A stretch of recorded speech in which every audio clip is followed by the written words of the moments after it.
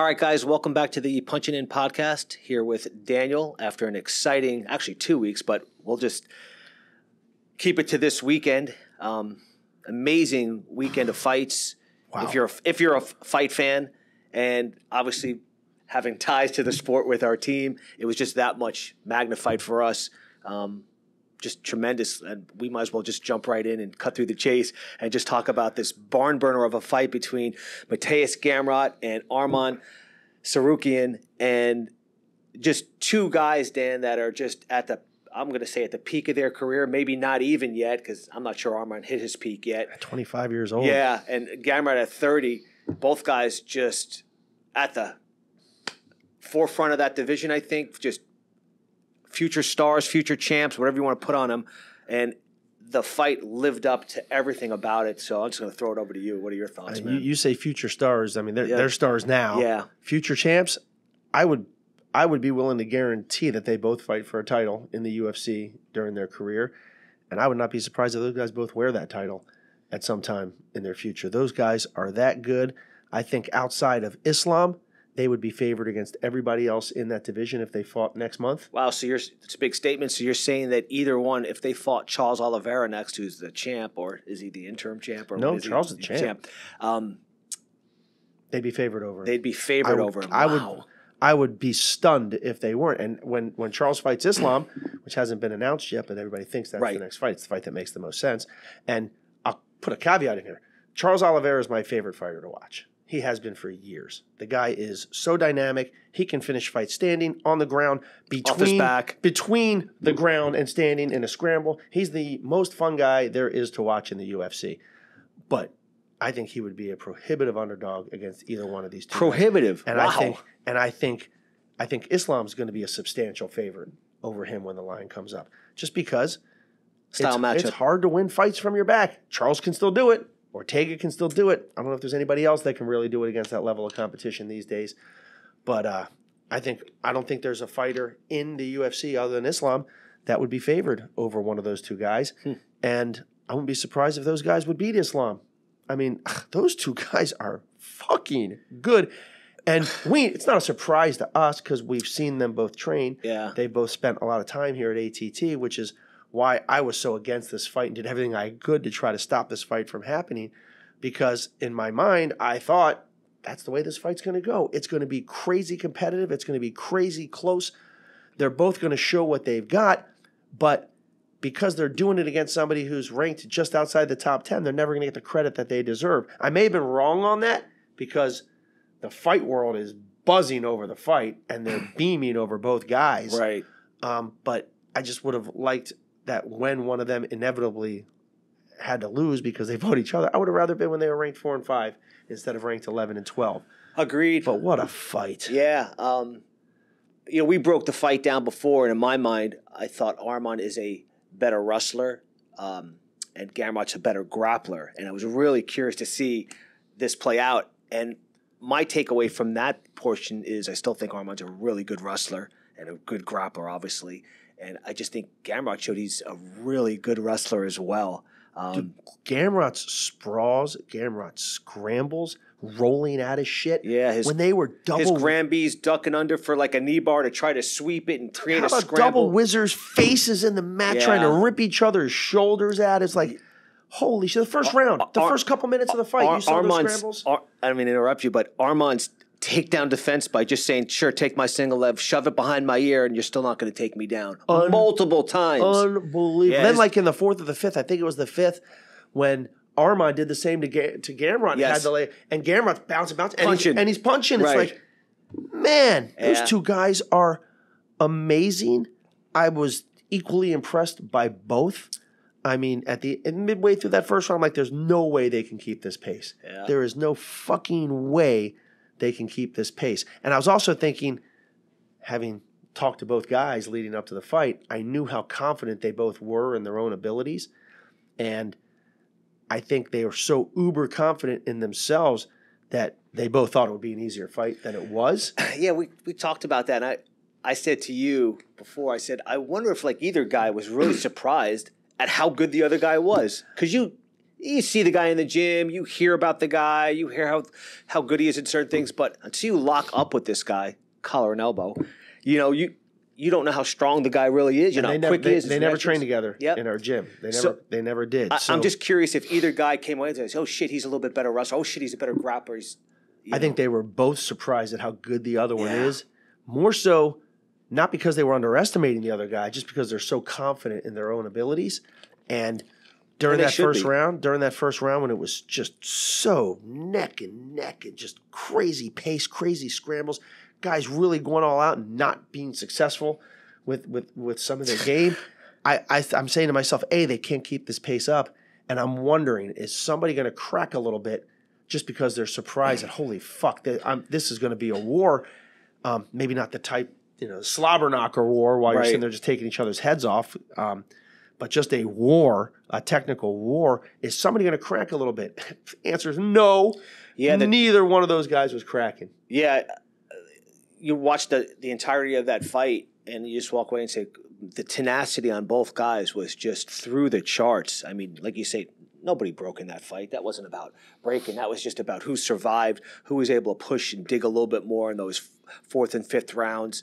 Um, amazing, amazing fight. And and I know there was some stuff out there on the internet. Oh, this is a robbery. This man, those rounds were close. That was a close fight. Uh, both guys deserved to win that fight, and um, just you know, d- we we walked away from this fight obviously not wanting it to happen, and, and all we said was just I hope it's a fight of the night, and both guys really shined, and that's exactly what happened. So Yeah, you said uh, nobody deserved to lose. I, I I'm not sure who won, but I know nobody lost. yeah, You know, and and it's it's so rare that you have a fight where both guys come out better and with more star power and more hype behind them than they had going in. It's hard because somebody's going to lose, yeah, you know. But they did. Both of those guys proved that they are top top of the heap. yeah. We we or you talked about that before on the show where. uh, Coming off a loss doesn't necessarily mean it drops you down. Calvin Kattar, right? Uh, Max Holloway coming off a loss. I mean, th- those guys had some epic fights with you know Volk and against themselves, and they still their pedigree stayed where it's at. You know, they're But it's ra- rare. Yeah, It's hard to do that. It is, agreed. Um, it's funny, after the fight, Dan, I was buzzing. Obviously, you were too. Just an amazing fight. And I typed out, holy fuck, you know, with the little emojis in there for the word fuck. and uh, what a fight between these guys, you know, hashtag Gamrot hashtag Arman. And I got a response back from somebody basically saying, whoa there, uh, uh, you know, technical fight, yes, uh, uh, you know, whoa on the on the wasn't that great kind of thing? And i'm thinking what fucking mma shows are you watching? Like what are you what are you talking about? This was just an amazing fight on all levels. Just the the, the technical aspect the the crazy scrambles the crazy defense from both guys. Just every part of it was just so much fun to watch. I mean that if that's not a holy fuck fight i don't know what is. You have different types of fight fans. You got the fans that want the two big slobs throwing slow, lazy bombs at each other, Right. you know, with no defense and every punch is landing. You know, who didn't like the Don Frye fight? Yeah. You know, in Japan. Um, and then you got some people that, you know, pure jiu-jitsu guys that just love the grappling. right You know, would rather see that. So, you know, I guess there's some out there that might look at that fight and say it wasn't what they love to see. I think you're out of your mind. But if you watch, you know, you follow Twitter, you look at the fighter reactions from those fights, you talk. I mean, I've talked to people in the, that, you know, are high up in the UFC about the fight, during the fight, after the fight, other fighters, coaches, guys at our gym. People are just buzzing. Still buzzing. How good that fight was. I mean, I, I, I stayed up till 5 a.m. yeah you're, you're a better man than me I, I crashed around 3.30 after the post I, fight I just uh, couldn't I couldn't get over. Yeah. And I tell you, you know, part of me felt really happy for Gamma. Part of me felt really sad for Arman, even though they both came out strong. right You know, I, I just you know it's, it's hard not to feel for a guy, you know, not getting a decision in a close fight like that as as hard as he fought. But I'm just I was so I was buzzing so high off of the fight itself. I was literally saying, okay, who do we have out in Vegas for that fight? Because they're three hours behind us. That you They'll be awake. Brownie. Let me call Brownie. he was he was in Gamrot's corner. Let me call Padumpa. He was in Arman's corner. Who else we got out there? You know, it's just like fuck. yeah The fight was amazing. Yeah, one of the best fights I've seen in quite some time I can remember. Um, and I'm sure there's others I'm just not thinking right now in the morning. It's- but It's the best technical fight I think I've ever seen. yes, you know, sometimes you get guys, Dan, that'll just nullify each other. You know, they'll clinch, they'll hold, they'll get a takedown, they're squeezing, they're advancing position. But these scrambles meant nobody could hold the other guy down. Nobody was willing. You know, your mindset was, I am not going to concede shit to the other guy, and he is not holding me down. And if he does get me down, it's just not going to. We're not staying there. Um, both guys You're right. You say, you say guys nullify each other, but typically when you see, you know, hey, I'm going to put my will on you. I'm going to impose my will on you. Boom, let's do it. Oh shit, that's not going to work. This guy's too good at nullifying what I do. I'm not going to exert the energy knowing that I have a high chance of not getting where I want to be. So why why expend the energy, especially over a five round fight? Not so much in this fight. These guys had that happen and said, well, fuck you.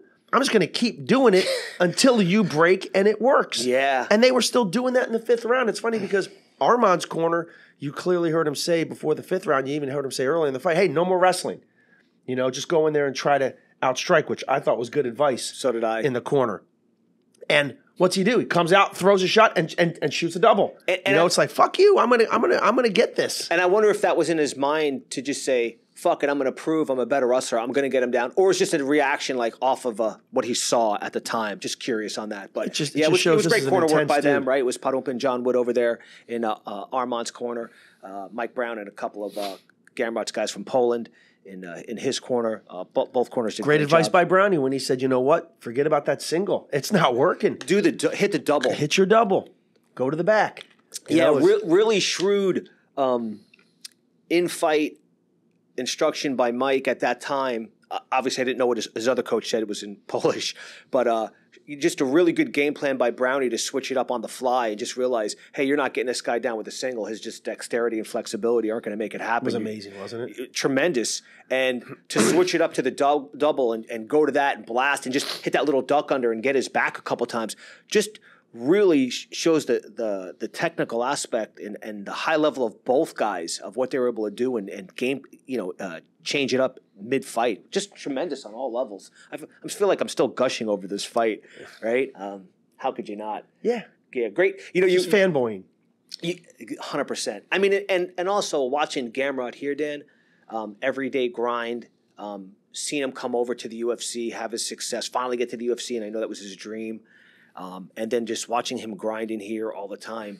I'm saying this fucking kid is special, man. He if he loses, it won't be for a lack of trying, a lack of will, a lack of effort, or any of those at all. Um, he, that kid really gives his heart and soul into it. You know, I, I don't manage a lot of fighters anymore just because I don't like it. It's And you're not really good. it's a, it's a thankless job. You Yeah. know, it's like you you spend half your time as a manager arguing with the promoter or the matchmaker, and then you spend the other half of your time arguing with the fighter. Right. Because they're never happy with how much they're getting paid. they never think they're getting the exact matchup they deserve. Right. So it's just kind of a thankless job. I'd like, hey, let's just train guys. Let's get guys ready to fight. Let outside managers, you know, manage the guys. It's great when those managers know if they they send their guys to our gym, they're not going to get hijacked by other managers. We're not looking to try to steal anybody's management here. Um, but Gamrot's one of the few that I still take care of, and I'm not sure I've ever had. I was going to ask you, what's he like to work with? I don't think I've ever dealt with anybody like him. I'll just give you an example. Hey, Gamrot, they're talking about this fight. Whatever you say, boss. But let me go over who the who, who the who they're. Th- no, I don't care. You give me give me two weeks. I don't care who I fight. Whoever you think I should fight, fight. That's easy to say, right? You know, most fighters say that. but- No, they don't. Not to their Right, managers. okay, They don't. all right. Nobody says that. Well, they, they say it out in the in the in the public sphere. sure. You know, Who's next for you? Whoever they say. Right. Yeah. Bullshit. Right. Nobody was stepping up to fight. Uh, it's hey, you know, you, you, you got two fights left in your contract. They want to renegotiate it. Oh, cool, great. Let me know what you get. Let me know what you agree to. Well, no, it's what you agree to. No, no, boss. Whatever you say is fine. I trust you. amazing. This guy is just unbelievable. Yeah, amazing. And whenever there's someone falls out of a fight, short notice, it's like Dariush and Islam. You know, when Yeah. when, when Dariush got hurt, it's like it was like a week. Hey, boss, I'm in Poland. I can be there. I'm in shape. I train hard. Give me the fight. You know, it's just he will fight I mean, anybody. Dan, it, it it it proved it when he called out Arman to begin with. He knew how good Arman is. That's a fight you shy away from. That's a fight like fuck, I don't want that. It's not a fight you shy away from when you're fighting to get a title shot Right, and we're both ranked in the top five. But Right, but when you're 11 and he's 12, you're thinking, "Hey, I know how good this kid is. Let me go grab a, uh, I don't know, whoever's in a, you know, a, uh, maybe six through 10, and, and see the the weak sister there that I could pick off." there's only one reason that fight happened because nobody would fight either one of these guys. It's amazing. And along and, and on that point, good luck finding somebody who wants to fight Arman Tazur Tsarukyan coming off a loss. He's going to be still ranked in you know around eleven, coming off a loss. Who wants to fight that motherfucker? yeah, and God forbid it's a three round fight, not five. You've got a fucking. It's even worse for you if it's a five because that guy's cardio is so fucking good as he just proved. Um, I mean, nobody's going to want to fight that guy. you got. the- He's a locomotive. You know, he is just a fucking locomotive coming at you. It's yeah, I just I, I don't have enough praise to heap on on those two dudes. Yeah, and, and there's some fun fights coming up, right? So Fiziev is going to fight uh, RDA, I believe, right? They Um, are. That's that- gonna it's gonna show a lot about Fiziev. It will. Um, we'll talk about that fight when it comes up. But Yeah, I just, good fight. Yeah, just kind of kind of shake up the rankings there a little bit. And, But and- look- look at and- those and- rankings. And, then obviously, you know, you mentioned uh, Islam is probably going to fight in the summertime, right? I'm thinking. Um, He, he- he's going to fight Oliveira next. I mean, I, know they were they still wanted to do that Dariush fight, Right. I mean, the guy deserves a title shot. He's won like how many fights in a row? Was that guy won nine? You know, yeah, he's finishing and guys. So, so it really leaves out there Gaethje without a fight. I don't think Chandler has a fight now, and uh, Dariush, right? So, Yeah, Chandler wants Conor. He wants well, the everybody wants fight. Conor. Yeah, I mean, you know, Masvidal wants Conor. I mean, there's, there's a few guys who want to want a piece of that, and we'll see what happens with that. But you, you can't hang your hat on that. Wait I, for that. I don't think it's going to be easy to book a fight Yeah. for for Gamrot or for Arman's manager to get him a fight. yeah, I think now. maybe somebody below those guys might have to fight Arman. It'll be easier to find a fight for Gamrot because I imagine he's going to be in the top 10 coming off that fight. I mean, is anybody really looking at that thinking that he should be ranked a few spots below Tony Ferguson? I mean, come on. Should he really Right. be ranked lower than Conor McGregor? Right. Should he be ranked lower than RDA? I mean, RDA is a fucking stud. he is. He's a former champ. He is a stud. He just wins fights. But I mean, come on. Who, who, who you betting on in that fight? right. you know. But it'll be easier. It'll be easier finding a fight for Gamrot coming off a win, being in the top ten. Agreed. Somebody in the top ten, at least they're going to get some, you know, some some recognition fighting him. Um, but I mean, I think he's favored over all those guys right there. I mean, I look at it and I'm thinking, what fights make sense? I know Gamrot called out Gaethje. Um, if I'm managing Gaethje, does that fight make sense for Justin Gaethje? I'm not even sure who Gaethje fights though. Are you?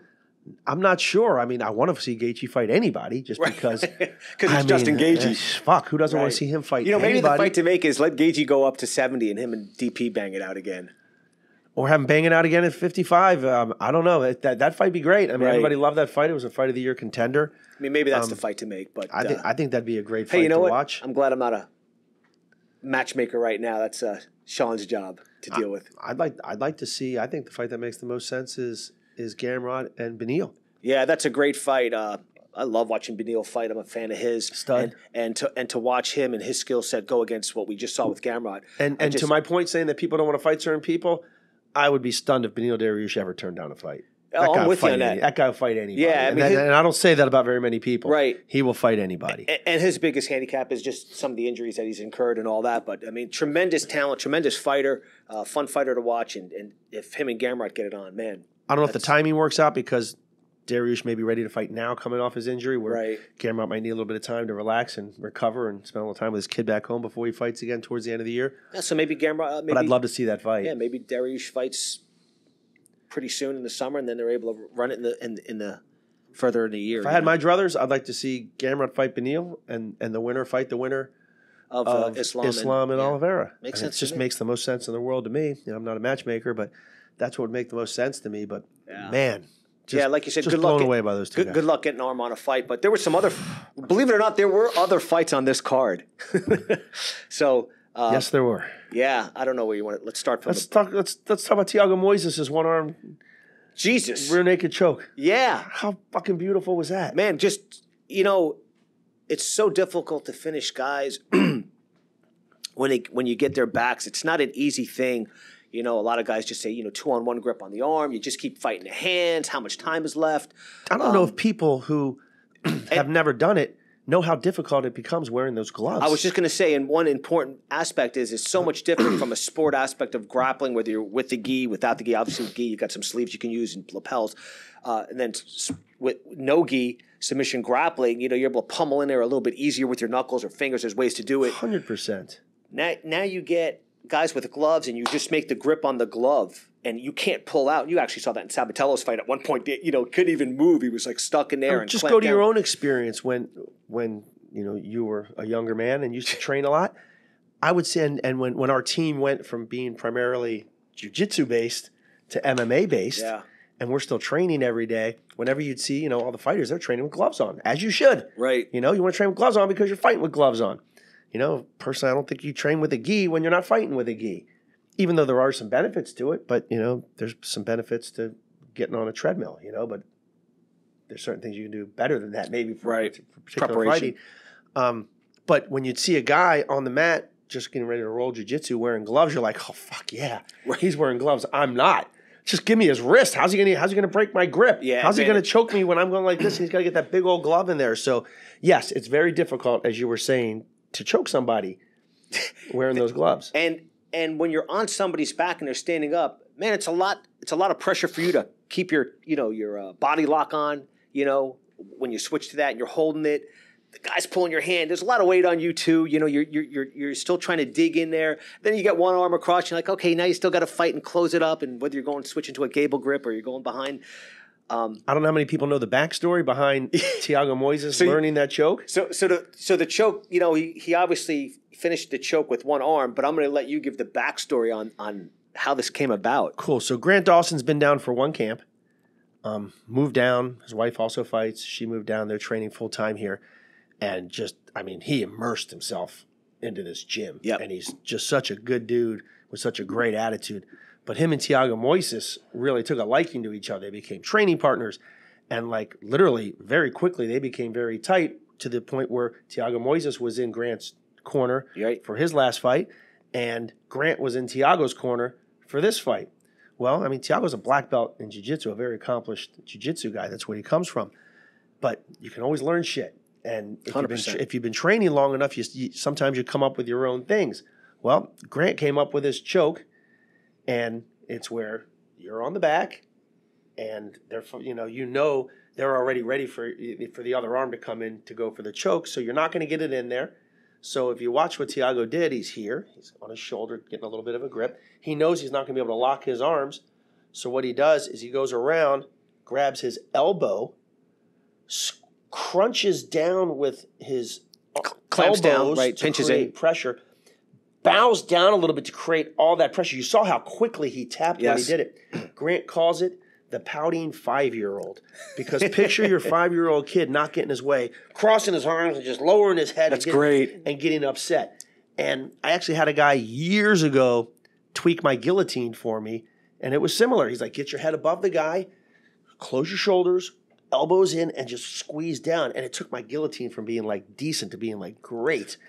and and it's just it create. You saw the pressure. I mean, that guy tapped quick Yeah. when when he did that, and it's just so cool. It's just guys exchanging knowledge, and you know, one of the benefits of having our gym, where so many people come to our team and come through here, even people that may not stick around for a long time. It's not just them coming here to learn things from our fighters and our coaches. It's us learning things from them as well. Two two things about that. Number one, I'm super impressed that you're able to touch your shoulders without throwing one out. That's very impressive. I've got no labrums in either one, so it, it was a little bit. But of a getting back to your point about the exchange of information, I've I've seen, um, you know, Mike Brown does a couple technical classes at night, and like somebody new will come through, Rani Yahya, when he first came by. First thing Brian says, "Hey, Rani, you know we competed against each other, whatever. Why don't you show this choke? You're really good at it. I don't want to teach tonight. You bring what you have to the table and you show it." Oh yeah, absolutely, I will. Boom, he shows something. Padompa, hey, this guy's in there. This black belt, Felipe Costa, had stopped by one time. You know, hey, this guy's phenomenal. You know, you'd beaten Gordon Ryan, whatever. Felipe, you mind show up? Yeah, absolutely. Let me show you what I do from this position. So that transfer of information to that that you were talking about is just amazing. And it's not just, hey, show us something that you do well. It's if you come to our group classes and it's Mocco Monday and it's wrestling. Here's Parumpa, our grappling coach, who's not the wrestling coach, obviously. He's right there on the bleachers or he's on the mat not to teach, to watch. Right. To say, let me see what they're doing and let me see these guys using it to see what I can learn from it For my Friday guys, class. or what or what I can take and add something that I do. You see Steve Mocco doing Bruno's kickboxing class. Yep. Trying to just learn and feel and, and coaches absorb. But it's not just him watching what Mocco's teaching people. It's Mike Brown watching all these guys train to see what they're doing to say, whoa, whoa, what the fuck was that? Right. Show me that because I think that would work for this guy or that guy. It's not just here's Mike Brown's style. You Right. know, take him down, wrist ride, do this. It's hey, I'm an MMA coach. I want to I want to help my guys with their game, what would be best for their game and their style. And if he sees Yaroslav, I remember he saw Yaroslav do something that just blew him away. And he's like, I remember. that would work for this guy, this guy, and this guy. And just right away, he's grabbing those guys in their next class, and he's like, "Hey, let me show you what Yaroslav does. Hey, Yaroslav, come show them what you're doing on your entry because it'll work for their games. Right. Might not work for everybody, but it's just it's just such You know, a it's funny learning talk about that, and then you get a guy like. Bo Nickal who showed a couple stuff to some of the guys, and uh, I remember Charlie Decker threw his shoulder out. Okay, Bo, that, that might just work for you and nobody else. But also, Bo's Artem, you see Artem Levin, who's just a pure kickboxer, striking legend. Um, and he was in Mocco's class learning how to wrestle. And I said, God, you suck off your back, Artem. You know, he's laughing. But I mean, it just shows you the, the, the evolution. You, you said it, Thiago's a black belt in jiu-jitsu. If you haven't seen Thiago, he had this beautiful helicopter sweep to armbar and LFA that Yep. kind of went viral. And was here- the sub of the year that year. I yeah, think. I mean, went viral, phenomenal, um, really good jiu-jitsu, tight game, and here you picked up this little thing from Grant Dawson, who just came to our team, and you were able to utilize that in your win. Just tremendous win um, for Thiago, getting back on the uh, the win column there. Great looked win. great. Um, Umar was right in front of me. Nurmagomedov um, did what he does best. He just took the guy down, he dominated. he looked pretty dominant he did. Uh, Chris Curtis. um, with Rodolfo. Man, body shots. Did I love that left. Yes, I did. Body? I, I love to see a guy do that. Uh, well placed body shots. I mean, Rodolfo's tough dude, man. He Oh, he ate some shit. You know, I mean, just, he had his little brain surgery. Just to come back from that, you got a pair of balls.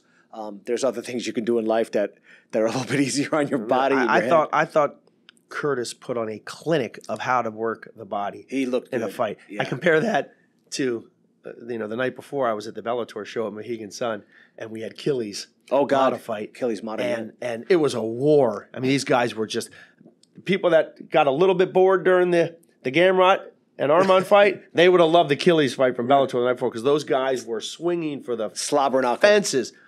But at one point, at the end of the first round, sometimes guys like when they hear the, you know, the ten seconds left, they try to end it on a big flurry to make a statement, try to like Yep. maybe a close round, edge it out to them, or maybe they're just like, "Fuck, I only got ten seconds. I'm gonna see if I can land something here at the end." He started throwing bombs to the to the midsection, and I'm just thinking, dude, you're standing right in the pocket. Right in front of the guy, and Hands you're down. multiple shots, and this guy's slinging for your head, and I've got I'm having Aaron Pico flashbacks. Right. You know, it's like, Yes. dude, hit the body is, you know, a lost art on a lot of MMA guys because, you know, small gloves, you're in close, it's dangerous as fuck. But man, if you're gonna hit the body, hit it and either follow up with a shot to the head or get the fuck Clinch, out. takedown off that. You know? right? But man, Curtis put on a clinic and how tough was Rodolfo to eat all those? Agreed. Agreed. And, and we skipped over the. Uh, I think it was the, was it the co-main um, with Oh, uh. Magny and uh, Rakhmonov. Shavkat's a uh, He's a problem, man. He's a problem. Yeah, he, he looked really good. Uh, another fighter out of Kazakhstan who who who just shined on this card. Magny stepped up, took the fight. You talk about guys that actually will fucking fight anybody. Ma- Magny seems to raise his hand every time somebody's looking for a fight. So you know, shout out to him for having actually a big sack and taking on this kid who. Hey, probably a little bit beneath you in the rankings, and now shot himself up into the rankings there. And now Dominant people, win. And now people are talking about him versus um, Chimaev, Chimaev. right? Shavkat and Yeah, well, they, Hamzat? they yeah they they mention those names about, but uh, I'd be surprised if they did that fight. me, me too. You know, it's again. Now, But, now, but, but they did Arman and Gamrot. right, so that you know anything's possible. Every, everything's on the table. You, you, you're you're going to talk about two guys that are going to have trouble getting fights. You know, I would think those guys might be a possible matchup. Um, just fun fights to watch there in in in, uh, in the welterweight division. We had two other guys on the card. Just want to mention real briefly. We had uh, Sergey uh, fighting on that card, and uh, he he talked about a slobber knocker in the beginning. He was getting. Uh, And he got hurt early. Yeah, he was getting bombed up a little bit in that first round, uh, and but was able to come out. His takedowns were on point. He was able to change the the direction of that fight. Based on his grappling and, and, and wrestling work and pulled out the decision. Happy for him. And then Cody Durden um, comes back with a with a, a stamp on a first round TKO win, and it felt like all his frustrations built up. You know, he was able to put out. He had lost to Muhammad Mokaev before that, who's down here now. They train together, and I know Cody was disappointed from that. But uh, Did you hear what he said when he walked over to the table where think Hunter and Sean I belong here or something was something. I belong here. You Yeah. know, I think it was I- I, fucking belong. Yeah, I thought it was a couple- like, yeah. Damn right I do. Yeah, good for him, man. Really good Solid. kid, hardworking kids out of uh, ATT Atlanta. Works a lot with the Lima brothers, um, and he did his camp here. So I'm happy for him. We went four zero on the night. Main event to win like that is, is pretty. Uh, Uh, one one other fight to me- to mention is uh, that Mario Bautista fought Brian Kelleher, and Oh. Kelleher's tough as shit, and he smoked him. yeah, you know, he finished him quick. yeah, and there were it- some other good fights on there too. But you're right about that Mario Bautista kid. Um, looked looked impressive in his win, and then um, I think the heavyweights. If you like the slobber knocker, that was pretty good. That was a fun fight to watch, and uh, that was Good show. Pare- Yeah, it was a great, great card. And whenever whenever a show ends on a fight like that, it's just everybody leaves just high. Agreed. You know, it's just just crazy. And it's not because weed's legal in over there. But yeah, no, it's a tremendous card. Uh, there was another great one on Bellator. I don't know how many people got to see that. There was also a PFL the same night. A lot of stuff going on. Um, but we had a pretty big night. Toot toot on the horn there for us. Uh, we went five and one. We had Johnny fighting for the title. We had Danny Sabatello in the bantamweight tournament. We had Achilles Mata, who you'd mentioned. We got a kid flying under the radar named Shabliy, Alexander Shabliy. We had Sabah, who's never in a boring fight, and then we had um, Cody Law, and we'll start it from the beginning, Dan, from the from the bottom up. We'll run it. So to start off our weekend, we had what six, seven. We had eleven fighters that weekend, and Cody was our first guy, Cody Law, and unfortunately he he took a loss, uh, lost a decision um, on our first fight. I'm like, oh, it's not really the way to start the weekend for our guys. First L for Cody. yeah, so tough was, matchup. The kid was was was Good. solid, technical, tough kid. And you know, sometimes you need to taste that that loss. You know, early in a career, everybody loses. just to uh, everybody does. Um, and uh, we'll see how he responds to it. He's a he's just such a solid hard worker, and he's very talented. I think he'll learn from it and bounce back strong. I have no doubt he's also a very intelligent guy. I think he'll be able to talk to the coaches, regroup, see what he needs to work on, and he'll actually put that in his his uh, uh, plans for the future to get better. So, absolutely, um, still high on Cody. Uh, Sabah was the next guy up, I believe, and um, I don't know. Does Sabah have like a a a different gear other than on off. I mean, that's it, man. He, he he was pissed from the press conference. You know, a guy got in his face, did a little headbutt to Sabah. Sabah shoved him off. They kind of went at it. They kind of went at it backstage. First of all, a Sabah's a dick. bit. but you know- no, but Sabah's our dick. Oh, he is clearly our dick, and I love him. Yeah, great But, kid. I mean, he he gets into trouble every show. He gets into arguments. That wasn't his fault. every show. Dude, he cussed out a commissioner on his way out and almost got kicked out of the building after the fight, and he won. You know, he's just he's just two speeds. Yeah. sleeping and to the tenth degree. Yeah, on off. Super great training partner, great teammate, and man. Fun that guy kid. comes to fight. Yeah, fun He's kid. either finishing you or he's getting finished. Don't don't plan on being around in the third round of that fight. Right. I mean, he's uh, been in plenty of wars, plenty of gym wars. Uh, you know, he's got the pedigree, the chops, the whole nine, and now he's got the ble- bleach blonde hair, and he is on fire lately. But hell of a knockout for Sabah. I mean, he just dropped some dynamite bombs and Sabah's a very dangerous fighter. He is. He's he's got a lot of power and a lot of ability to finish fights. and a good He- wrestler too. He just doesn't use it. He just rather stand and throw. He just needs to you Harness know, it a get little a little bit of a regulator in there because Yeah. fights don't always end in the first round. But you know what, Dan? It's funny. Sometimes you, you you try to change a guy's style a little bit, and it ruins it for him. I think Sabah just is like, "Fuck it, man. I'm going in there, throwing down. This is what I do." And you know what? A guy like Sabah, he's the kind of guy that could have a 10 year career at Bellator. Even if you lose some fights, they're all fun. Yeah, great. Everybody's going, nobody's sitting down at the end of one Right. of Sabah's fights. And I think that's You know, why their Paul Daley seats, lasted so are- long as well. He's always a fun fight to watch, Paul Daley, right? So Yes, always. yeah. Next guy up from there is is a guy I'm really high on, and that's uh, my boy Alexander Shabliy. Um, from Russia, shout out to his coach. His last, his name's Shut Up. um, great guy here in the gym. Great training partner. Um, shame on you for not putting his picture up yet. I got to get on that and take care of this. So uh, Now it's my job. so Jordan, if you're listening, I need some pictures.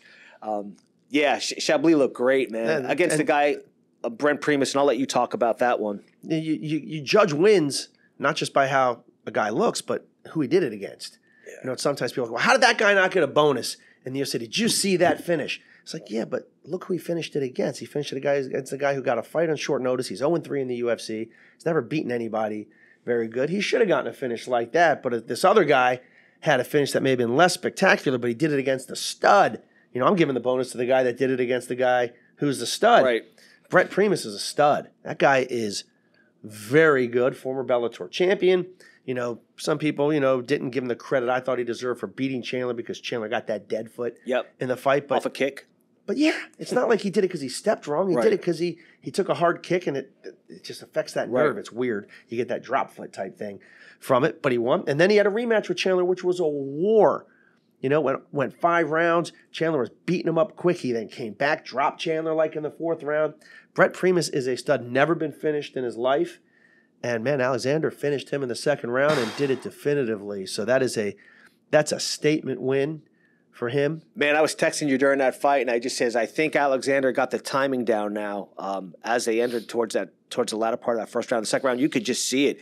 He was so comfortable on his feet. His striking was just, I mean, sniper like. I was, um, I was on the fence who was going to win that fight. I did not have a feeling one way or the other. I thought it was a pick'em fight. I know Sh- Sh- Sh- um, Shabliy was a pretty good favorite. He was like minus 170 or something like that, which I'm not sure anybody should be minus 170 in Bellator against Brent Primus. Brent Primus is fucking good. Um, and at the end of the first round, I'm thinking, I think Shabliy going to finish him just Yeah. because he was he was hurting him in that first round. And he's he's you watch him training with high level guys. We got a lot of high level guys around 55 because they train with 75ers. Yep. I mean, so with 70ers, they go down, they fight with some some 45ers that are big, and it's like I've seen him against a lot of good guys in this gym, and he is just so well rounded. and uh, man, he let it go in that fight, and he came out looking good. Yeah. Um, definitely impressed by Shabliy and, and watching him here in the gym and putting it together. Yeah, he's a stud. like Brent Keep your eye keep your eye on him. I would be surprised if he did not end up with some hardware? Some hardware. Honestly. Yeah. Like, Um, Killy's Mata, um, and I guess he lived up to his name, Killy's. He just went out there throwing bombs. Um, that was the style. that was that was the fight of the night. Yeah, I mean, he just went at it and uh, against Dan Moreau, and um, tremendous fight by both guys. Both guys just said, "Fuck it, let's throw down," and uh, just had a three round war. And Achilles came out with a W on that. So, um, shout out to Achilles. How, how about you want to talk about a fight that impressed you? Magomedov and Enrique Barzola. Yeah, Enrique used to train here. Super tough guy. We had a uh, program here. We were trying to develop some Latin American guys along with the UFC, and we had a break in. And actually, he was one of the guys here. He actually recommended Enrique at the time. I think Sean was looking for 55ers only, and I think Sean had asked me, "Hey, you know, I'd give him a weekly update. I think Right. it was a every bi-weekly update."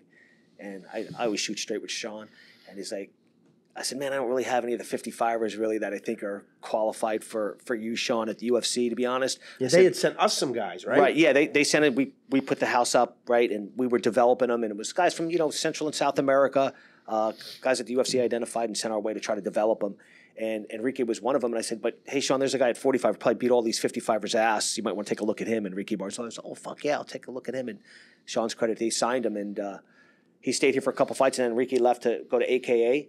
Um, so that was a weird one. But anyway, uh, he fought Magomed. and I know how tough and uh, Barzol is, but boy, did Magomed Magomedov take his game to the next level during this fight. You know, he's obviously got a big pedigree. He had the win over Peter Yan um, early in the career. Yep. Um, that some people, you know, thought was a bad decision. I never went back and watched the fight, so I don't know.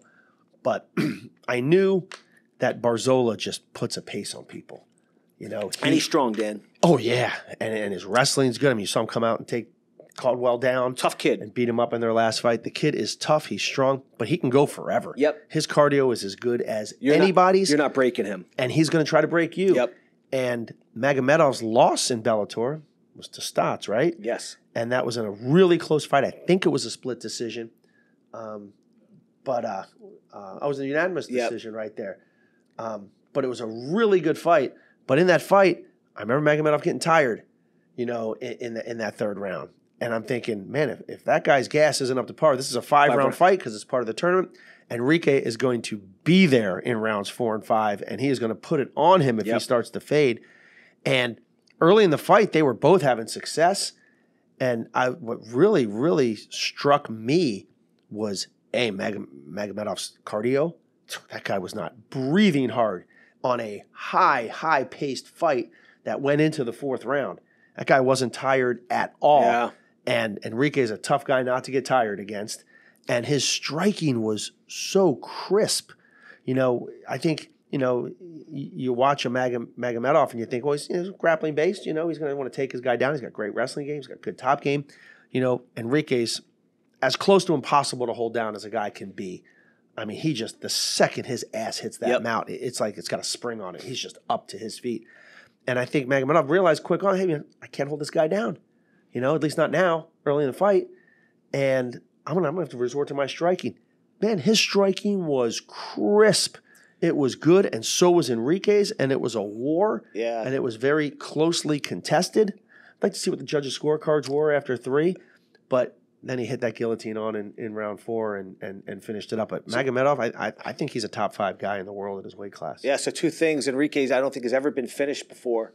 Um, and that's the first time he's been finished in a fight. So that's pretty impressive on a guillotine. And the second thing is, Dan, like you said, hey, Magomed went away from the takedowns, realizing I can't take Barzola down. That's just great fight IQ. Yes, it on, is. On, on a veteran fighter to realize that and make the adjustments. So that's one part of the bracket. Magomed moves on, um, and, and he'll go fight uh, Patchy Mix Yes. in, in the next round. But we had one of our guys, in the other Cur- semifinal. Kirsten Sailor, Italian stallion over there, the in the Italian gangster, Danny it's the other half of the bracket. Right, It's the other it's side. semifinals. Yep. Or is it the quarterfinals? Uh, it's the quarterfinals. quarters going into the semis. So this is going into the semis. right. So so Sabatello fought Leandro Higo and was taunting him all week. And you know um, that's one of those fights that if you're not a fight fan, you're probably like, uh, "Hey, I want to watch a Rock'em Sock'em fight." Danny's going to take you down, grind you out, and he basically did that for four rounds. Second round, he got in a little trouble. Higo got in his back. Credit to Danny, didn't panic, defended. And back. good. and Higo finishes guys, right? And we talked about that early on. Um, that it's really tough to finish guys, but Higo stayed on his back, I think, for four minutes of this round. I'm like, oh shit, Higo can finish. And Danny just stayed composed, got out of there, and it's like he got up after that second round, and some guys are a little dejected and tired, and man, he's looking around, kind of bopping around, like, okay, whatever. Third round, I'll take him down again and do what I do. And Danny just went right back to the game plan of sticking to the game plan, grinded Higo out.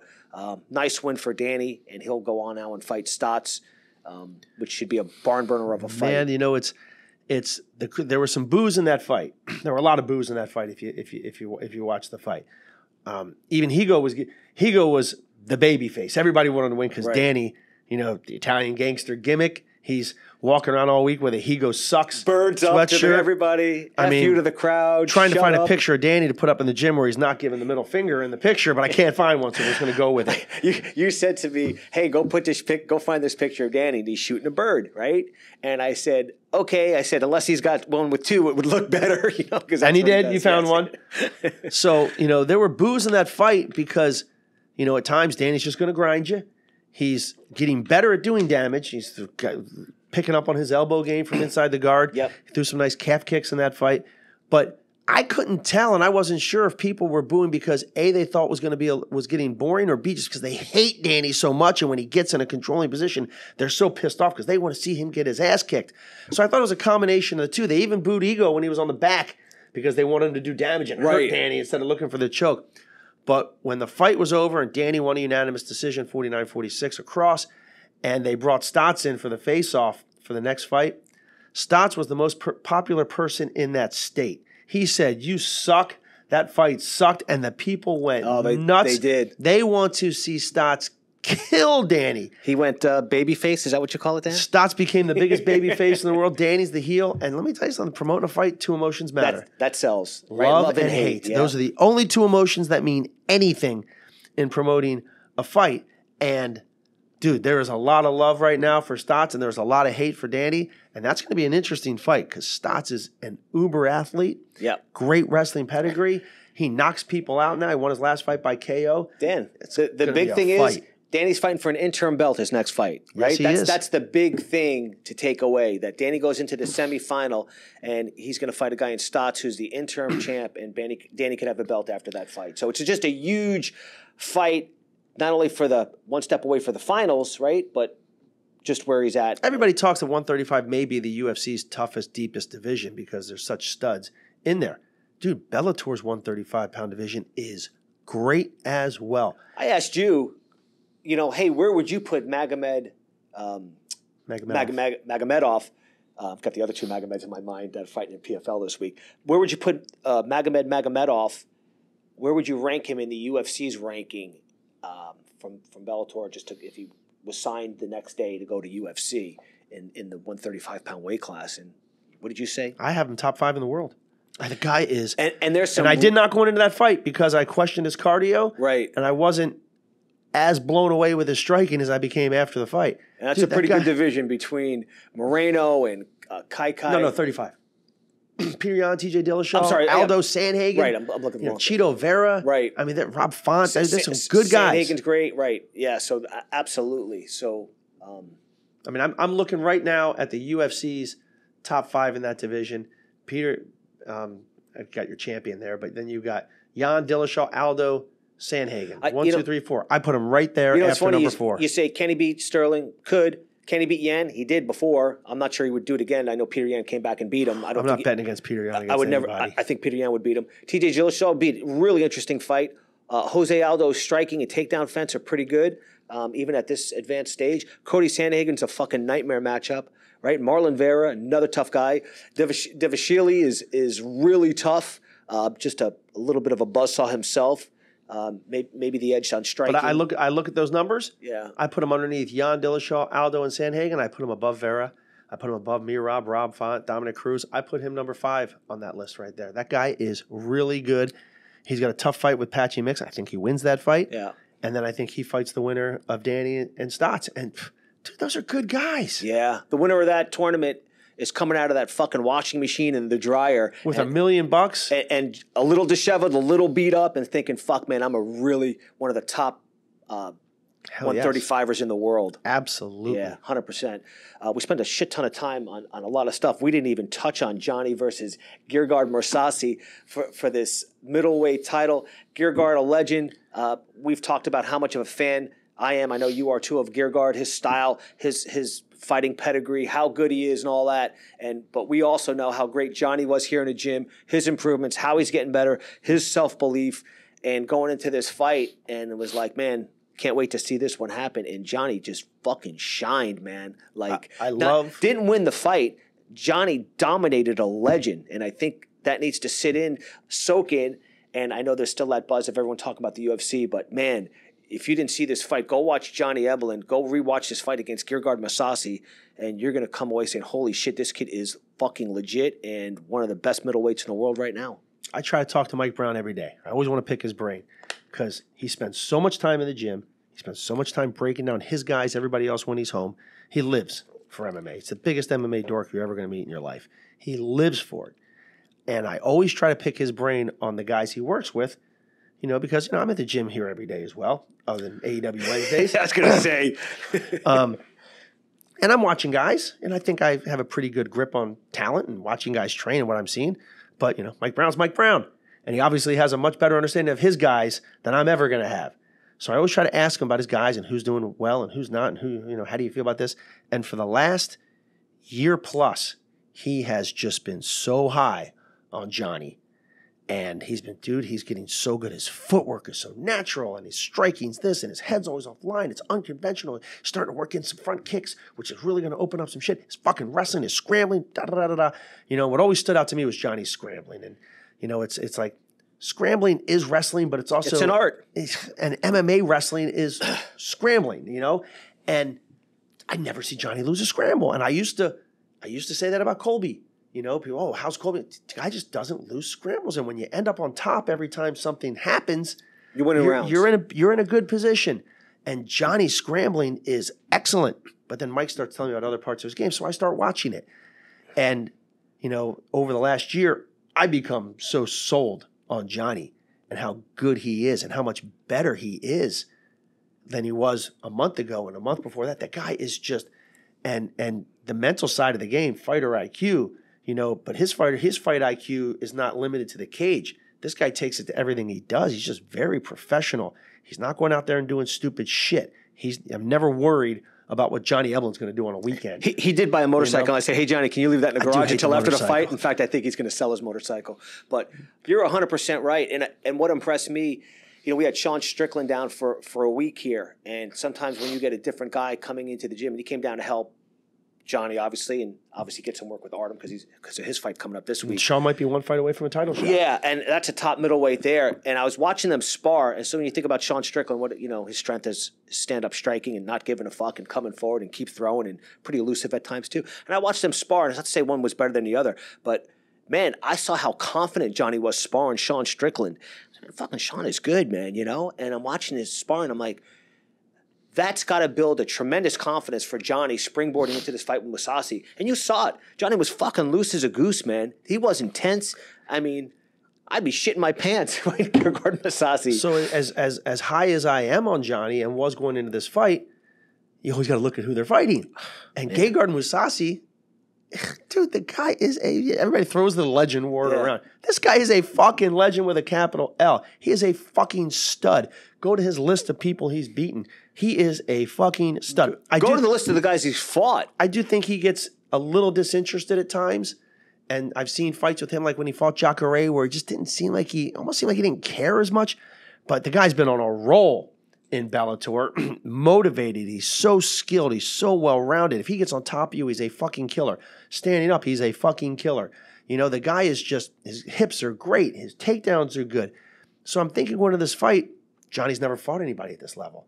You know, the toughest fight Johnny had come into this was John Salter, Right. who's just, in my opinion, more tough than he is skilled. And Salter's great. Salter's a great record, been around a long time, but he gets by so much on being more tough than he does skilled. So I'm thinking Johnny's never fought anybody near as skilled as Gegard. So going into it, I know how good Johnny is. I've seen how good Gegard is against the highest of the highest level. I'm thinking there's two outcomes that this fight. Either Gegard's going to hurt Johnny and, you know, show Johnny you're not quite at this level yet and beat him up, or Johnny's going to fucking dominate this guy every second of every minute of every round. Dan, when you said dominate Gegard, were you thinking more on the grappling, wrestling aspect of it? Well, I mean, he hit seven or eight takedowns, so he did that. Did I expect him to drop him to come out there and, and show how quick his hands were? Yeah. You know, it's one thing to have quick hands when you're hitting mitt, mitts, and they're always where they're supposed to be when you're Right. throwing it. It's another thing to do it against a guy like Mousasi, who's so dangerous and such a good counter striker and so accomplished. I mean, Johnny dominated everything about that fight. I was blown away at how, and you talk about how composed he was. I mean, dude, that guy was completely unfazed. I mean, at one point in the fight, he hit Gegard and gave him that little point. It's like, dude, now you know. That that to me is scary because you know you you, you don't want to wake up the sleeping giant or the arousal guy. I mean, Johnny was on cruise control. It didn't fucking matter. I mean, he was just like you said, pointed him out during the fight, uh, doing a little celebration dance after the first or second round. I forgot what it was. Did his little celebration dance after the fight as well. In the fourth round, if I could encapsulate that fight with one little clip, in the fourth round, Johnny blasted just a really good right hand, hurt Mousasi. Mousasi backed up. Johnny closed in, went for a flying knee, which was from too far away, landed and just blasted a double and just planted him. And it was like, holy fuck. Best I've ever seen Johnny look, firing on all cylinders, and I don't even think Johnny hit his peak yet. How, how old is Johnny? Is he 30? Okay. I, I, I don't even think he's hit his peak yet. I don't think he's hit his peak as far as his, his total potential and athletic ability. If- I, I don't think he's hit it yet. if you have watched his improvement over the last 12 months, you you would have to agree with that statement because he is the Johnny right now would absolutely destroy Johnny from a year ago. Oh. It wouldn't even- I mean, it would be brutal. yeah, would be it wouldn't bad. even it, it wouldn't even be in the same. Yeah, you you, you think there's two different fighters there, and, and, there is. And the Johnny a year from now might not destroy the Johnny right now because I'm not sure anybody's destroying the Johnny right now. Right. That guy just fucking dominated. But he stays legend. on that path. He's gonna he He's gonna be- get better. Yeah, I, I, I don't, like I said, I don't think he's he's reached his peak yet. Uh, kudos to Johnny. Major congratulations to him. I mean, just an epic win for him. Really happy for him, knowing the time and effort he puts in. Also, shout out to King Mo. We put a lot of time in with, with Johnny as Have well. you ever seen somebody as excited in a corner as King Mo between the fourth and fifth round? And I was telling you about it because I was sitting right, Right. there, you know, inside the fencing Yes. area, right behind the corner, and I saw it. I didn't realize they showed it on TV. You're like, yeah, I saw it. And I'm like, how did you see it? Yeah. you know, and they actually showed it when I went back and watched the fight. Because I, I went back to watch the fight just to make sure he looked as good as I thought he looked. He Right. fucking looked even better on TV than I, he did live. I mean, Mo's been around the block not only as a fighter, and sometimes Mo comes off as aloof to people, right? He's done it to us before, but I mean that's just Mo's personality, right? He's not the most enthusiastic guy, you know. Sometimes, unless you're talking the fight game with him, then you see his eyes light up and uh, see his reaction with Johnny because he's kind of taking him under his wing. Uh, for those don't know, Mo Mo fought in Bellator. He's he's fought Mousasi. He's fought everywhere. He beat Mousasi for the Strikeforce belt, which Right. is interesting because after that fight, somebody texted me and said, "Wow, I had no idea Mo, Mo beat Mousasi for the Strikeforce belt back way back, way back when." Which I was there for that fight because I think I was thinking I cornered Bobby Lashley on that card. Okay. and my response was, "Yeah, you know, you know who else he beat for a belt?" And they're like, "Who?" Yuri. fucking Yuri. Yeah, Yuri. I mean, dude, Mo's a stud. Hundred percent. Like I said, he's been around. He's fought everything from Pride and Rizin and and, and Bellator and, and legends of this game. And to see him take Johnny under his wing and be as excited in, in that aspect. That was so cool to me. One of my highlights of that night was watching how excited Mo was.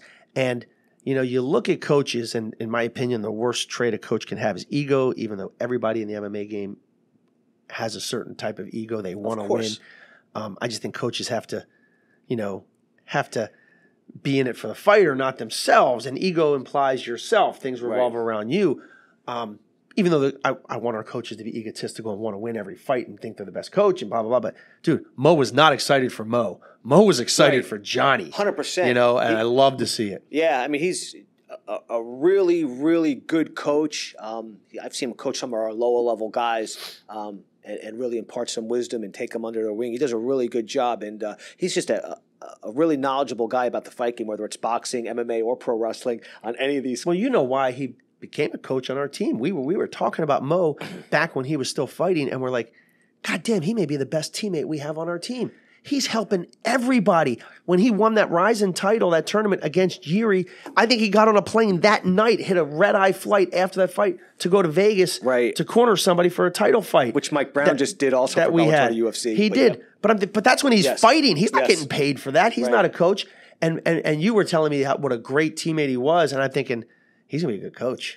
Yeah. you know, and and man, Yeah, his knowledge right of the fight. Yeah, his his uh, knowledge of the fight game is pretty impressive. I like talking to Mo, um, just in generalities about the fight game. Um, super It's funny you guy. think Mo, you think oh, you know, Olympic level wrestler. He was at the Olympic Training Center for a long time, really good in the NCAA. You think he's dude, Mo's striking knowledge is as good as his MMA knowledge. He's watched every boxing match in the history of the world. He watches kickboxing Yeah. shit. He knows all these guys. We get guys that come in the gym that are kickboxers and Mo's like, oh man, you got so and so. We're like, how the fuck do you know that guy? Dude, I get some Russian guy that walks in here and right away, oh yeah, I know him because I wrestled his coach over there and I was over in uh, Dagestan and yeah, yeah, Richie, look out for this guy. And I'm like, oh shit, okay, cool. We got to get him on the show one time. We'll, we'll have a oh, blast Mo'd be talking. great on the show. Um, but anyway, um, again, kudos to Big Johnny. Um, he pulled it out. Uh, another trophy. Uh, you know, another belt in the trophy case here for us. Just a, a, a tremendous weekend overall for the team. And And for fight fans in general. yeah, I want to toot. I know I want to toot our horn a little bit though because we had what was it, seventeen fights, eighteen counting Arman. I just didn't do a training camp here, but if I'm just counting training camp guys here, seventeen fights over two weeks, and out of those seventeen, Dan, it was big shows. It was Bellator, it was UFC, and PFL, and the team Yeah, you in- didn't count a couple guys that fought in some local shows. and it was 15 and 2 uh, overall. And this past weekend, we had both guys on main events. One's fighting for a title and a legend, and the other's two up and coming animals that are probably going to be future champs. And uh, you know, team team walked away pretty good, man. And and it's good. It's good to feel when you walk in here the the gym the next day, the energy and what goes on. And You know, we, you, you mentioned PFL. The one fight that we had this weekend in Cleetson. the PFL was Klidson Abreu fighting against Renan Ferreira. Renan was minus 1,000 yeah, going into that fight. Now, Renan looked out of shape. I think he took, I think he was just supremely overconfident, got got tired. But, you know, props to Cleats, And he goes in there. Renan Ferreira is a scary heavyweight. Yeah, I know went in when they there and announced this- dominated him. Yeah, when they announced this fight, I'm like, man, that's a fucking tough matchup. Um, but Klidson exposed him. I mean, took him to the ground, grinded him out. Just Look good. yeah, just took him out. We we spent an hour just talking about the UFC and a couple guys and, and Bellator. We're like, you know, an hour into our show, we didn't really get to talk about last week's PFL. Um, couple upsets there, but anyway, let's just jump forward and try to blow out what we got coming up this week. We got a PFL this week with Kayla Harrison on there. She had an opponent change. It was Julia Budd originally. Opponent pulled out. I don't know why, um, and now she's got a new opponent. Uh, Which which is which is a shame because I know how excited Kayla was to fight somebody who's a former Bellator champion Yes, because uh, you know Kayla, Kayla really wants she wants name name name fighters, man. she wants to show what she can do. She thinks she can beat any female in the world, and, and She most- thinks she could beat any male in the men. world. Yeah. That's where I was going. Yeah. So I know she was really excited for that, but she still got you know she's got a fight. She's going to move on.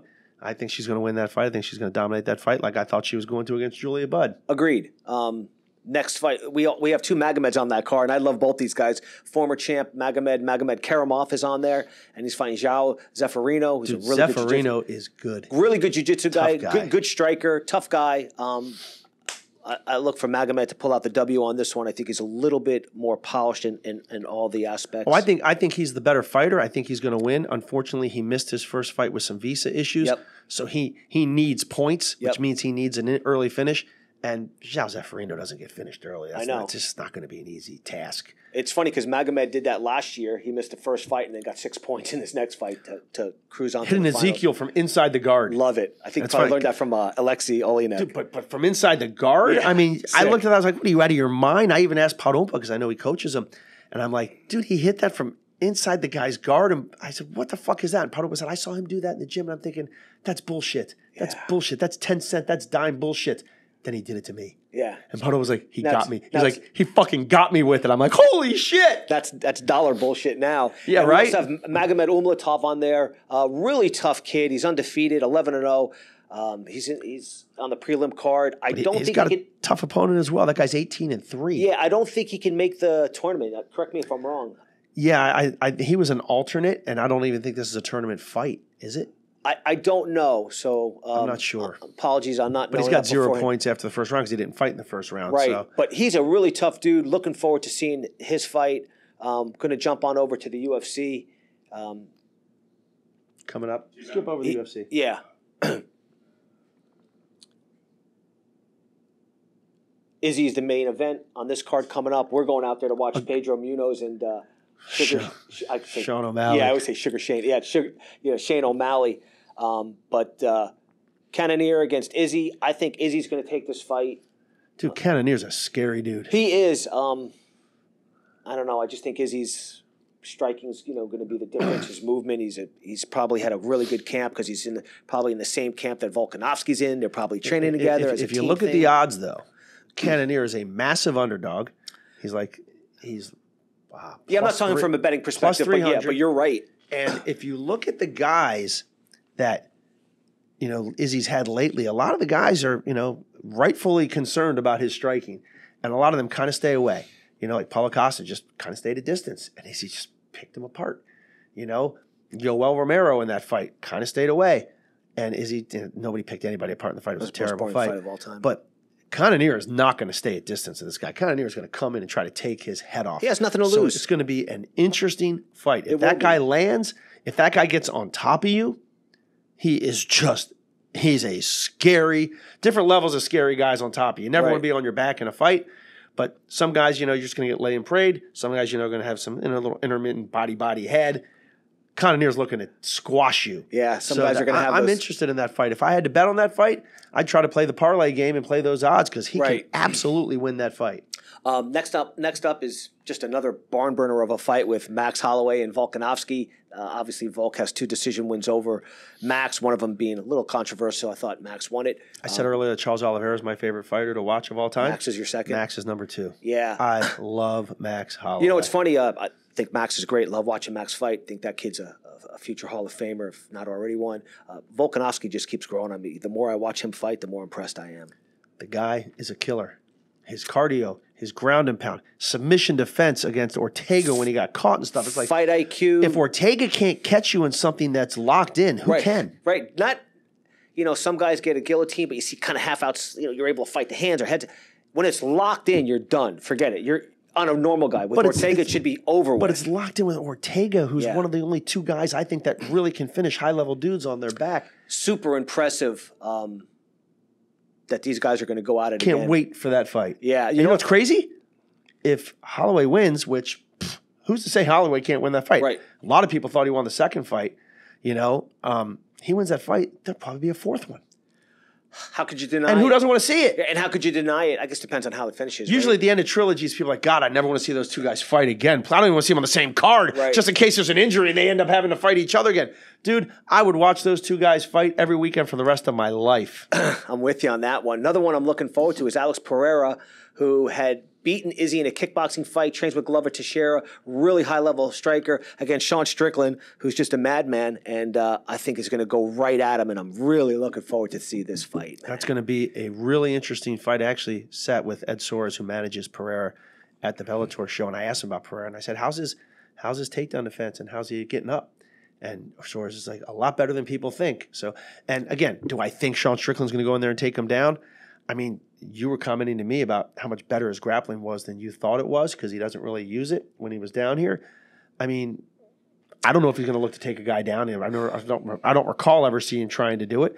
But if there's ever a time to try to do it and you know try to fight to your to a bigger difference in your strength versus your opponent, it might make sense to try to do it. But I doubt he will. Dan, you know, it's funny. I think when you think of, I think when most people think of Sean Strickland, it's some of the outrageous things he says or some of the controversial things he says, and it takes away from his fighting ability. He just says what I'm always thinking. uh, he is fucking legit. He's a legit guy. The more I watch Sean fight too, it's the more I realize, man, this more I watch him train here, I realize, man, this kid's got a real overall skill set, mentally tough guy. I think he throws shit out there just to tweak people and piss them off, which is even funnier at times. But uh, man, that that guy's going to be a problem. I like Sean in this fight. Um, gonna look really looking forward to that. We're going out there also. We're going to go look for our boy Pedro Munhoz. He's the only guy we got on our card. It almost feels like a week uh, Week off because you only got one guy fighting. yeah, you know, uh, it's really light. We only got Pedro on the card fighting Sean O'Malley, who's got a tremendous hype behind him. Curious to see because Pedro's not fucking taking a backward step against anybody. I go to all Pedro's fights. Yeah. A, a, I think he's going to be a stud coach for us forever. And B, he's just so fun to watch Yeah. fight. He is a killer. Great dude, great attitude. We just saw him here before here, smiling, laughing, having fun. Um, really looking forward to, to seeing his uh, his fight against Shane, Shane uh, Sean O'Malley. I'm sorry. Uh, there's another fight on this card that I'm really looking forward to seeing, and I think it got dropped to the uh, prelims, and I think it's the lead-in, the last fight on the prelims, is a Lawler against Barberena. Um, you know, if we're going to speak honestly and openly and frankly, you know, Lawler's not the same fighter he was. He's a little bit on, yeah, he's on the on the downslope of his career. Still has big power. I know Robbie likes to keep himself in shape. He always does. Um, uh, phys- physically in shape, and he loves to loves to throw. He's a smart kid. And uh, Bryan Barberena, though, uh, fucking just seems like it's every fight with him is a little bit of a war. And I see another war here, but I see Barberena pulling it out. I think he's a slight dog against Lawler, uh, but I see Barberena pulling out. You, mean- uh, what's your thoughts on it? I mean, you can't deny that over his last several fights, Lawler's output has gone down significantly. yes. You know, it's just when guys are busy in front of him, he isn't firing back like he used to fire back. Was it Robbie thirty six years old? I don't know. Probably in that area, but, but but a lot of wars. I would. But think he, he didn't really fire back a lot against Colby when when, when they fought. Colby was just throwing such crazy volume. You know, Colby's 40, not, okay. Colby's not known for his power. You know, um, but Lawler wasn't really shooting throwing back. But you might think, oh yeah, but Colby's got the wrestling. You know, he's throwing, hoping that Robbie goes to counter so he can take him down. So you kind of understood it, even though it's not a recipe for winning. You know, but then like when you watch the Magny fight, you know, there was just huge output by Magny and not a lot of output by Lawler in that in that fight. And then like I, I think when the third round started, Lawler started the round, came out strong and landed a big shot, and Magny immediately went to his ass, and Lawler let him up. But then Magny got busy, and Lawler kind of didn't throw a lot of output after that. So I'm not exactly sure why that is, but Barberena is not just trying to throw output for the sake of throwing output to either confuse you or try to accumulate damage like a Magny does Right. and and like a Colby does, or to set up takedowns or what have you. Barberena's coming to try to take your head off, and he's Exactly. getting right in your face, right in the pocket. So I think that's going to force Lawler to fire back. I just can't imagine Lawler letting this guy in his face throwing bombs and not trying to throw bombs back. So that's going to be a fun fight to watch. Yeah. I don't think that I don't think that one's going the distance. Right. And, you know, it's interesting. I think Barberena starts a little bit slow, and I noticed in Robbie's last few fights, he's been starting fast, coming out pretty strong right away. Um, so it's going to be interesting. Outside outside of the Magny fight where he didn't. Right. So it's going to be interesting to see how that plays out. Just the opening minute, opening Dude, minute and a half of that I think fight. it's going to be on your marks, get set, go, and I think they're coming to the middle. If I'm Barberena, I'd be- I- I- probably initiated by Barberena. Yeah. Robbie's a smart fighter. He he he knows what's going to happen. He knows what's going on. He knows what guys' tendencies are. I think he expects Barberena to come right at him. So it's going to be interesting to see what he does. You know, is he going to? I to think try? Robbie's going to sit down and throw. I would imagine you have to against this guy. Yeah. But I don't know. Yeah, I we'll mean, see. I, I would have thought he would have been busier against Magny without the real threat of big knockout power Right. coming from me. I'm not going to let Neil Magny just set me up and you know pepper me, pepper me, take me down. But he kind of did. You know, so I don't know, but uh, it's going to be a fun fight to watch. Right. Um, can't wait to get out there. Um, but uh, we're going to throw it off now for, you know, we're going into over an hour. I was trying to, I was going to try to keep it succinct, but not today. One, one last thing: Go ahead. Donald Cerrone, Jim Miller Okay. has now been added to the card. Aren't they tied for one and two or two and three for most wins in the history of the UFC? and probably most submissions too, right? Somewhere Oh God, dude! I don't think people realize how many wins Miller has and how many wins he has by submission. How many years have they been in the UFC? Forever. The, the longevity speaks to their career, how good both of those guys are. especially at 155 because it's such a competitive division with such stud athletes in there and these guys are still there um, that's going to be just that's just a cool fight yeah, it is. you know that's a super cool fight for me that's the kind of fight when you see those guys go to the cage you're like wow there's a couple studs right there. Anybody you like in that fight? yeah if I, I- think miller still has more of the old jim miller than donald cerrone has of the old donald cerrone Agreed. you know even though cerrone was a bigger star obviously Yep. um, I, I think Jim Miller wins that Yeah, fight. and the odds I, I'd be that. surprised if he wasn't a big favorite. Um, What is he? minus 210. Yeah. That's a pretty significant favorite. You're two to one, you know. Um, let's just jump to a new segment I'm going to put in here stock up or stock down. I know. Okay. Um, you know, thanks to Joe Biden, most of it is down. But let's just talk as it relates. That's Joe Biden to- stock way down. Yeah, so so I'll give I'll throw out a few names to you. You can just tell me if stock up, down, neutral. Um, Arman Tsarukyan coming off a loss. Up, which I had a big fear going into that fight that that it would be a great fight, but somebody would really look, be looked at poorly, losing to a guy outside the top ten. I think everybody realized how great both those guys are, and that's one of the rare instances where both guys' stock is through the roof after that fight, especially amongst people who know and the people at the UFC know. Gegard Mousasi losing uh, a legend like Gegard losing his title over the weekend. I'm gonna say I'm gonna say down just because I don't think anybody wants to see that rematch. So nobody wants to see Gegard get a, a rematch for that title. So I don't see him fighting for the title anytime soon. So that's that's a negative for him. Does this do anything to put a dent in his status or his legacy as a, as a legend of the sport? Absolutely not. You know, he just fought against the younger, hungrier lion who you Changing know, of the guard. Yeah, Yeah. changing of the gay guard. Yeah.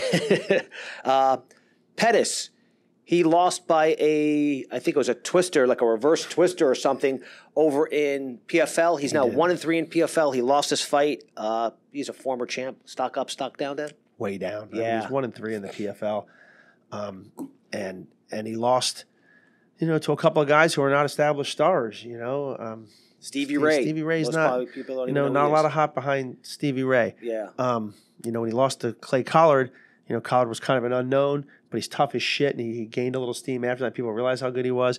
He lost to Raush, you know, last year, but Raush went on to win the tournament. You know, so you could kind of justify, well, it's the champion that he that, that he lost to, but you know, now he's lost to Stevie Ray, who you know doesn't have a lot of hype behind him. I don't think Stevie Ray's going to win this tournament. Yeah. Um, so yeah, I think stock way down on Sergio Pettis. yeah. And just I'm sorry, uh, Anthony Pettis. Anthony Pettis. And just speaking about that, it's it's kind of a little bit of a shame. So Pettis has lo- is losing. He's going to move on into this tournament. Raush, who's uh, one and one, he's out. Nate, Pettis has more points, Right. Because he got the finish. right. Natan is out. Klidson Abreu, who just beat um, That's- Renan Ferreira. that's unfortunate. He's two and zero in the PFL, and he's not even in the tournament. And he beats this guy head to head, and this guy's in the tournament. He's not. So that's a little bit of a travesty there. you know, again, you have to. It's like the NFL playoffs.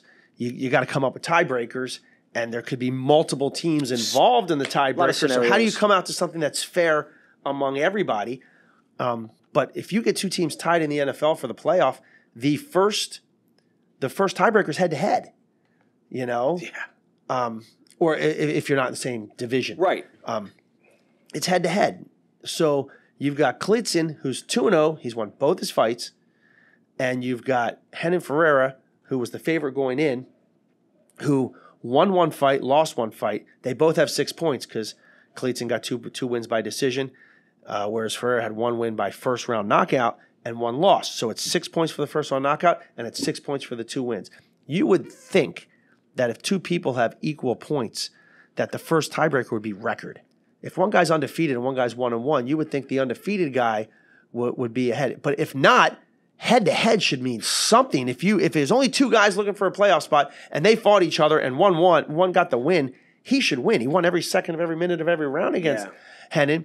But Renan gets in because he had the finish, but that doesn't have anything to do with the quality of that finish. We were talking earlier about, you know, you look at the quality of the win versus who you won. Johnny Eblen, you know, that's a real world championship because he beat a real world champion, a legend for that title. It means a lot more than someone who beat someone who kind of fluked his way into a belt Right. in some division. You know, Renan Ferreira got his first round win. I don't even know who he beat for that first round win. He could have beaten a guy who's not very good. Right. Yet that carries the day and puts him into the playoffs over a guy who's got two wins plus a win over Renan. I don't think that's fair. Now, when you figure in there may be a four way tie for it, so you really can't put that first, but there wasn't a four way tie for it. You know, it was a two way tie for it. So I think that's a bum deal for Clayton. Feel bad for him, but uh, is what it is, right? Yeah. I mean, they both got six points, and uh, Cleats Ca- on the Cappelozza's one and one. You know, Yeah. former champ, one and one though, but six points for a first round finish. Right. That means more than Klidson's. You know, I just eh, I uh, I, I don't like it. Feel bad for Klidson. I do you know, too. Two and zero, and and you and you're on the outside looking in, but things happen sometimes in tournaments where guys pull out or whatever the reason is. So 100%. hopefully we'll be able to slide in there. Um, anything else, Dan? Man, just a just big big weekend of fights this past weekend, and a big weekend of fights next weekend. And it's it's not necessarily because there are fights. You know, Kayla Harrison's going to be a monster favorite in the main event of Right. PFL. Pedro and O'Malley are going to be it's going to be an amazing fight. Obviously, O'Malley's got all the hype in the world, and Pedro's so good. But man, the the the Volkanovski and Holloway fight Whew, looking just got forward me to that. got me so excited. You know, we have no ties to either guy. Neither one's ever stepped foot in this gym. I love Max Holloway. He's a, he's just such a you know such an all time favorite of mine. He's in my top five five fighters of all time. You know, not just being favorite fighter. I just think he's a top five fighter Right. of all time. Whereas Charles Oliveira is my favorite fighter of all time, but not a top five fighter of all time yet. Um, so so excited for Max and Volkanovski, and uh, and I think Izzy and Cannonier is going to be a good fight too. So I'm pumped. Yeah, great weekend of fights. Um, looking forward to going out there and watching them live. Um, but great, great two weeks. Gave our coaches off uh, today from from a coach's called off the coaches meeting Yeah, today. I mean, just so coming much traveling from the guys and just so much intensity and energy spent. And I'm sure everybody's like, man, I need to relax a little bit, you know? So um, great, great week for the team. Super pumped for everybody. Happy for everybody. And uh, that's all I got. Anything for you? Nope. I'm fucking hungry. Let's go eat. All right, we're out, guys. Hey, just in the comment section, let us know what you thought on the Gamrot fight. Uh, if you thought he won, if you thought Arman won. I know there's a lot of uh, fervent fans, whether you're from Poland, Armenia, and Russia, and all that. Just curious, everybody, what, what you guys thought of that fight. So uh, look forward to hearing those comments. So appreciate everybody following us and the support. We are out.